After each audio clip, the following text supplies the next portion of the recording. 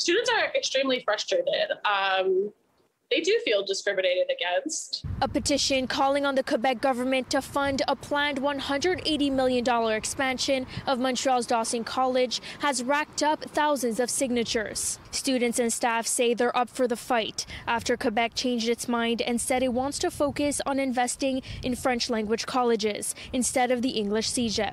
They are essentially using Dawson College to say, you know, in Quebec, there's there's effectively one way that this government believes we should do things.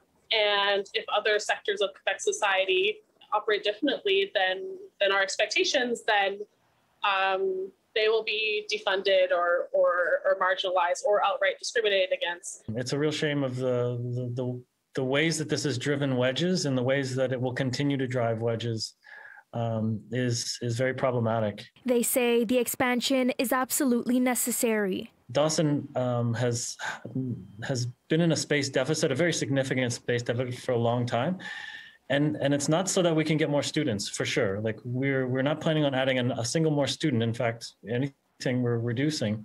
But even with those reduced numbers, we're still in a space deficit. That's how severe the space deficit has been. It's it's the most severe space deficit in the CEGEP réseau. This is uh, essentially an existential threat to the future generation of prospective Dawson students. This project, which is about more than just lack of space, has been in the works for close to a decade, and it has all come crumbling down.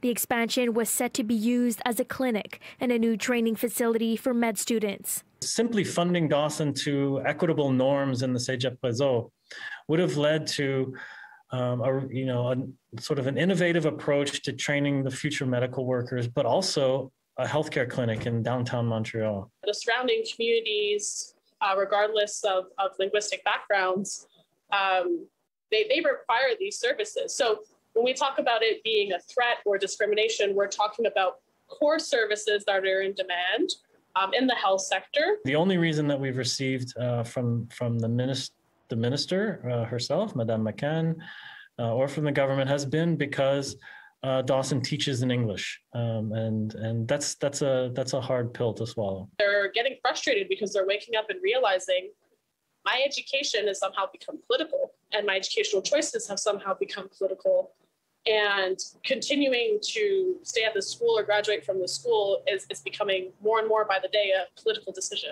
They won't be backing down anytime soon. I always have hope. That's why I get out of bed in the morning. Uh, you know, that's why I'm in public education. Um, I do think education can change the world, especially public education.